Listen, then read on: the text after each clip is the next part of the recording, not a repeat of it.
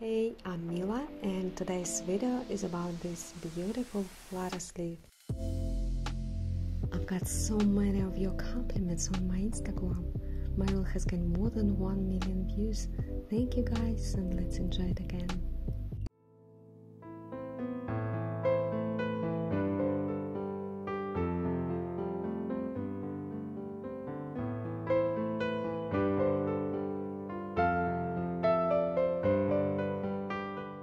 You asked me to create a digital pattern for you guys and now it's available on my website. I leave a link in the description. This is a what you want pattern. Just enter the amount you want. The butterfly sleeve pattern can be applied to the Amelia dress pattern or any sewing project with a regular shoulder. Let's go ahead and get into this tutorial. For the sample I used structured cotton, something like thin denim. Light or medium weight fabrics are perfect for this sleeve. As a lining I use thin cotton because my fabric is a little heavy. If you have a lightweight fabric, you can cut all of the pieces from the main fabric. Cut out the bottom pieces and make small notches at the center of the sleeves. Join the sleeve with the lining right side together and pin in place.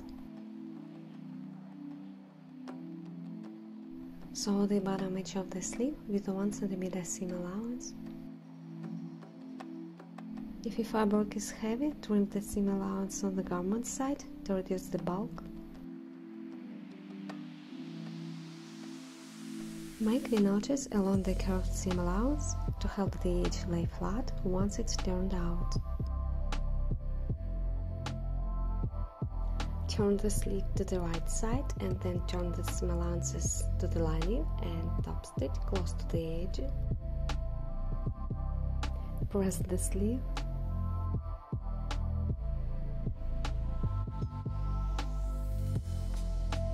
Sew the front and the back bodice pieces along the shoulder seams. Take a bias strip equal to your armhole length. You can also use a ready-made bias tape. Pull the bias strip in half one side together and press it. Join the sleeve with the armhole right sides together, matching the center of the sleeve with the shoulder seam. Sew with the 5mm seam allowance. Pin the bias strip to the armhole, joining the raw edges.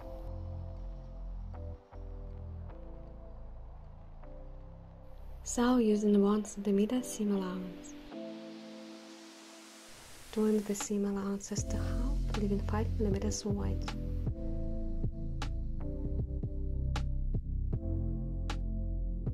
Turn the bias tape to the seam allowances and top stitch close to the edge. Turn the bias strip to the one side of the bodice and press it. Join the front and the back bodice pieces at the side seams. Pin in place. Steady the bias tape diagonally.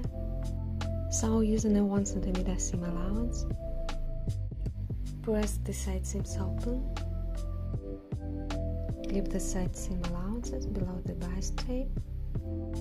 Turn the bias tape to the one side of the bodice and top stitch close to the edge.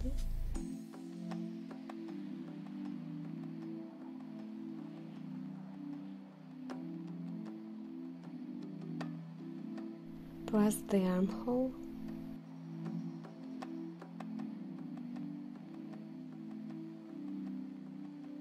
I hope you guys enjoyed this video. Please don't forget to like, comment, subscribe. Thanks for watching.